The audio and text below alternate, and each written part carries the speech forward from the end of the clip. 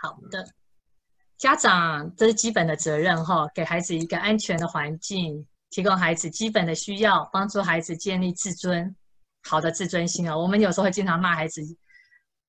啊，不过我我 test 我的儿子也是哈，有时候我们讲中文骂小孩的时候，其实他听不太懂我们到底在讲什么。但是我觉得这个语言暴力我们是要非常小心的。像我们今天早上去公园运动，然后我儿子很白嘛，我今天就说怎么像白斩鸡一样啊？那我儿子他就说，他就偷偷问我说，到底什么叫白斩鸡？有时候我们骂人或是讲一些这些话，其实小孩听得懂话，他很伤自尊心的。那事实上有很多时候是他根本听不懂你在讲什么，所以我也鼓励爸爸妈妈在这里，不管是怎么样都要学英文了，因为毕竟孩子去读书是学是讲英文的。你将来跟他谈话，不要变成只是吃饱饭没，啊，多穿一点衣服，不要一直看电脑，要运动，不要一直打电话。就是我们的对话不应该只仅止于这么简单的话。但是孩子坦白说，即使他会讲中文，如果你不跟他谈比较深的问题，很多字他讲不出来。很多情绪感觉讲不出来的，那更不要说你要把你的信仰传给他哦。当然，身教更重要，但是有很多东西要谈深一点的时候，是需要那个智慧的，那个语言的智慧。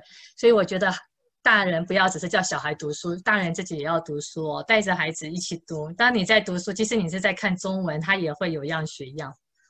好那当然，顺带一提了，我们一直在骂孩子挂在电脑上，那我们自己是不是也是挂在电脑上、挂在手机上？哈，所以自己也要，呃，我想家长是要以身作则。再来就是好的品性、价值观，彼此尊重，有效的管教，有效的管教，这个当然是可以，可以更详细的去讨论。好，还要了解自己的孩子。这边我想谈，简单谈一下，每个孩子也会有创伤，但是创伤。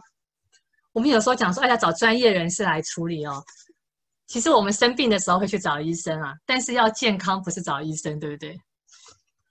健康的话是平常就要下功夫了。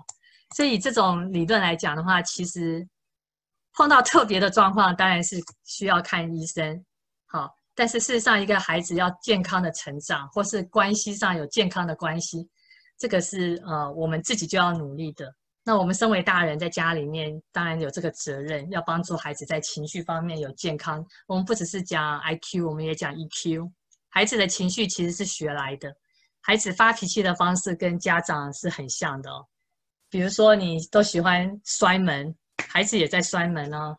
你喜欢生闷气，孩子生气就是生闷气哦。你喜欢呃大吵大闹，孩子处理事情方式都是学来的。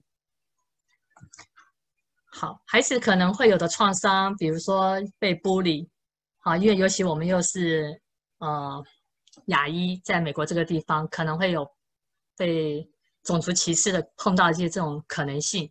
那也有可能就是跟父母亲分开很久，然后甚至父母亲离异，这些都对孩子来说多少都会有一些创伤。孩子每个孩子他的个性啊、特质啊都不一样。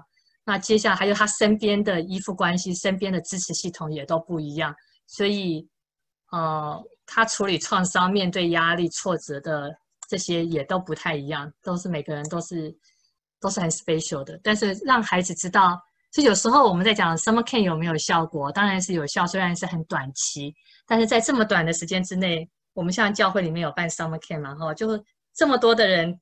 呃，正提供他正向的关系，这么爱他，然后做彼此之间，大人之间是和谐的关系，对孩子来说也是一个很好的，呃，他有安全感，而且他也知道什么叫做好的正向的关系，好，不是只是吵吵闹闹而已。他在在这个环境当中去观察、去学习，所以即使是短期时间，对他来说，在生命当中都可以造成一个很大的一个正面的力量。